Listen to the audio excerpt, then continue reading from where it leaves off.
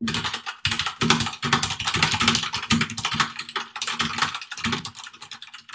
हाय, नमस्कार दोस्तों। आज हम एक ऐसे कलाकार के बारे में बात कर रहे हैं, जिन्होंने अपनी पहचान नेगेटिव किरदारों से बनाई है। बॉलीवुड के चुनिंदा विलेन में से एक मुकेश ऋषि ऐसे ही एक अभिनेता हैं, जिन्होंने अपने खतरनाक किरदारों से दर्शकों के दिल में खास जगह बनाई है। दोस्तों, आपको बता दें कि मुकेश ऋषि ने एक्टिंग करियर की ज़्यादातर फ़िल्मों में विलेन के तौर पर ही काम किया है, लेकिन कुछ फ़िल्में ऐसी भी हैं जिसमें उन्होंने पॉजिटिव रोल भी किया था। लेकिन अचानक मुकेश ऋषि बॉलीवुड से कहाँ गायब हो गए और उनके फैंस ये जानने को बहुत बेताब हैं कि वो आजकल कहाँ हैं और क्या कर रहे हैं। तो दोस्तों, हम आपको बता दें कि मुकेश ने चंडीगढ़ से अपनी पढ़ाई पूरी करने के बाद काम की तलाश में फिजी चले गए। यहाँ पर उन्होंने अपनी जीवन संगनी से मुलाकात की। शादी करने के कुछ साल बाद वह न्यूजीलैंड में शिफ्ट हो गए और वहाँ एक मॉडल के तौर पर काम करने लगे। वह मॉडलिंग के काम से खुश नहीं थे, इसलिए कुछ साल बाद ही मुंबई आ गए और रोशन तनेजा के एक्टिंग स्कूल को ज्वाइन भी कर लिया था। मुकेश ऋषि ने बॉलीवुड की 120 से ज़्यादा फ़िल्मों में काम करके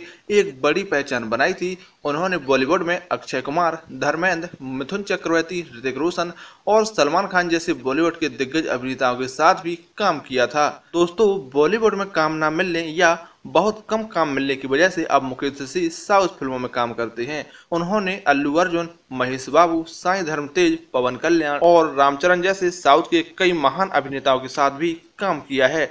बॉलीवुड और साउथ फ़िल्म इंडस्ट्री में काम करने के साथ साथ मुकेश ऋषि अब पंजाबी और भोजपुरी फ़िल्मों में भी काम करते हैं। उन्होंने पंजाबी सिनेमा में गिप्पी ग्रेवाल, अमरिंदर गिल और भोजपुरी सिनेमा में प्रदीप पांडे जैसे दिग्गज अभिनेताओं के साथ भी काम किया है। तो दोस्तों, आपको कैसा लगा मुकेश ऋषि के बारे में सब जानकर? अगर आप इनके बारे में और भी जानकारी चाहते हैं और रोज़ाना ऐसे ही नई नई जानकारियों से अपडेट रहना चाहते हैं तो आप हमारे चैनल को अभी के अभी ज़रूर सब्सक्राइब कर लें ताकि आपको रोज़ाना नए नए वीडियो सबसे पहले मिलते रहें। तो चलिए दोस्तों, यहाँ पर आपका वीडियो देखने के लिए बहुत बहुत धन्यवाद।